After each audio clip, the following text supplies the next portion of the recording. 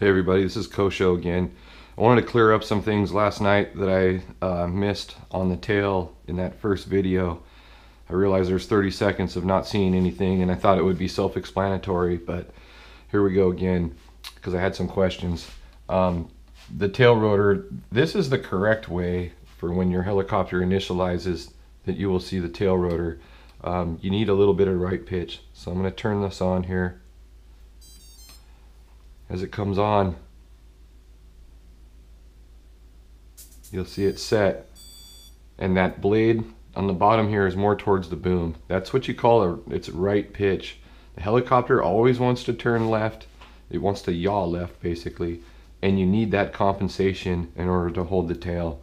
You do not want the tail to be centered like this and you do not want it to have a left turn like that. That is incorrect this is incorrect, this is correct. So basically when you punch up and down, if that tail starts to kick out, you're going to want to add a little more right pitch. It, it, it tends to hold it straight because every time you give it give it gas, you're gonna it's gonna want to torque. So we're trying to even it out to where that the nose can can hold and keep the tail straight. So this is how you do that um, you can adjust the link on the bottom here. I'm just gonna get this fixed here. This link, you can pop it off with a butter knife and uh, you just tighten that guy up to add a little more right pitch, loosen it to add a little more left pitch. You can also slide the servo back and forth on the tail boom.